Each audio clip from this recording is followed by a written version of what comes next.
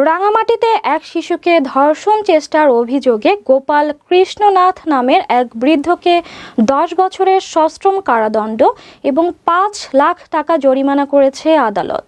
বুধবার দুপুরে রাঙামাটি জেলা ও দায়রা জজ আদালতের নারী ও শিশু নির্যাতন দমন ট্রাইব্যুনালের বিচারক এ ই এম ইসমাইল হোসেনের আদালত এ রায় দেন। আদালত সূত্রে জানা গেছে দু হাজার উনিশ সালের বাইশ এপ্রিল বিকেলে কাউখালী পোয়া বাজার এলাকায় মির সুপার মার্কেটে শিশুটিকে ধর্ষণের চেষ্টা চালায় ওই বৃদ্ধ। ঘটনার পরের দিন শিশুটির বাবা কাউখালী থানায় নারী ও শিশু নির্যাতন দমন আইন মামলা দায়ের করে। নারী ও শিশু নির্যাতন দমন ট্রাইব্যুনালের পিপি সাইফুল ইসলাম ওভি বলেন রাঙামাটির জন্য এটি একটি যুগান্তকারী রায় হয়েছে। আদালতের রায় আমরা খুবই সন্তুষ্ট। আশা করছি এ রায় দ্রুত কার্যকর হবে।